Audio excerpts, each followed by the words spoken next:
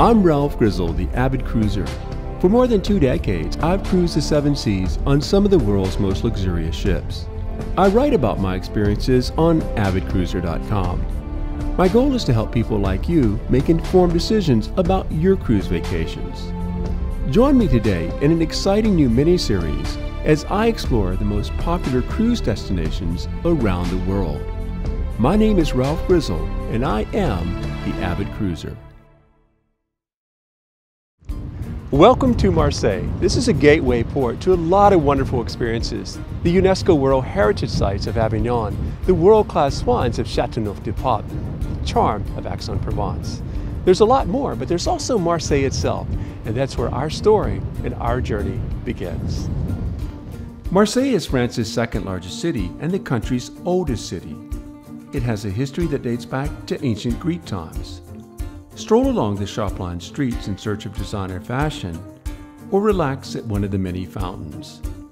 The best way to enjoy Marseille is simply to allow yourself to absorb its Mediterranean character. Marseille's old port has been a hub of trade activity since the ancient Greeks first landed here in 600 BC. The Old Port is the perfect place for a stroll along the wide promenade or to have a bite to eat in any of the cafes that line the waterfront. Notre Dame de la Garde sits high on a hilltop overlooking Marseille. Built on the site of an ancient fortress, the church was dedicated to the Virgin Mary and consecrated in 1864. This is a seafarer's church with paintings and votives depicting scenes from the sea. Avignon's historic center is a UNESCO World Heritage Site. Situated on the Rhone River, the medieval walled city practically pulses with life inside the walls. Thousands of people come to walk on the Pont d'Avignon every day. The odd thing is, the bridge doesn't go anywhere. That's because it was built back in the 1100s, destroyed many times, and what you see now is all that remains of the bridge. The Pope's Palace is one of the largest and most important medieval Gothic buildings in all of Europe.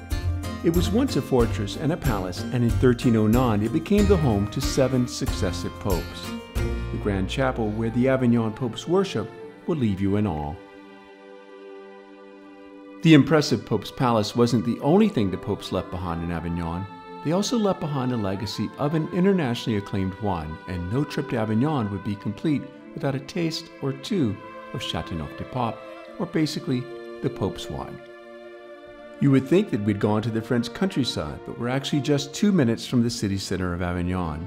Here at Auberge de Treilles, Experience fine dining under centuries-old plane trees and enjoy a taste of what makes this region of Provence so very special.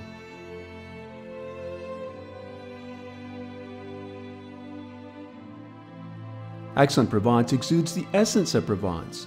Here you'll find inviting street cafes, fragrant floral displays, tempting pastries, as well as beautiful architecture and endless fountains.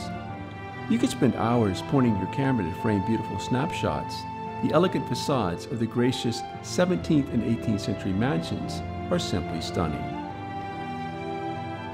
If you plan to visit only one church in Aix-en-Provence, I know just the one. Step inside the impressive Saint-Symphorien Cathedral, which was built on the site of a first century Roman forum.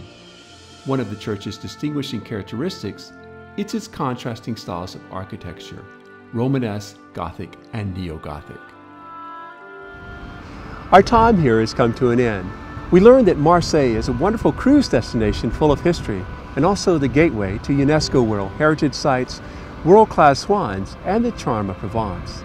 But to experience all of that, you'll have to come for yourself.